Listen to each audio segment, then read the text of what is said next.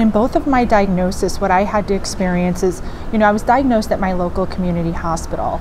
Um, at that point, you know, I decided to seek out and make sure I was getting a good second opinion. So then I went to a university setting.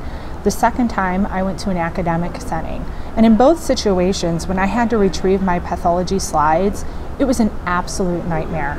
Um, not only physically having to go down and show my driver's license and fill out the paperwork and get those images, but having them sent to other institutions, having them get lost. And then ultimately, what it ended up happening is that it delayed the treatment process, right? So when the doctors wanted to meet for tumor board, they couldn't meet because they hadn't had a chance to review my slides those situations happen every day. I had another great conversation with a woman who had brain cancer, and her image or her mass actually was sent to another institution, and it actually got lost, and they could not even find that mass.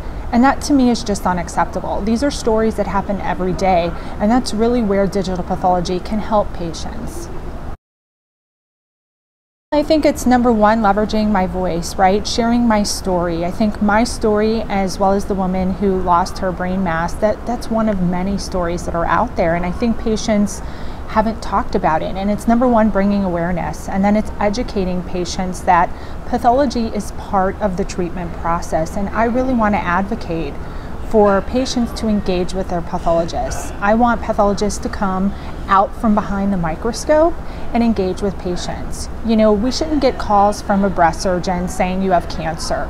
You know, for me, a picture is worth a thousand words. How great would it be to go in and sit down with your pathologist, not only review your pathology report, but actually see an image of what the cancer looks like so that you can process what's happening to your body.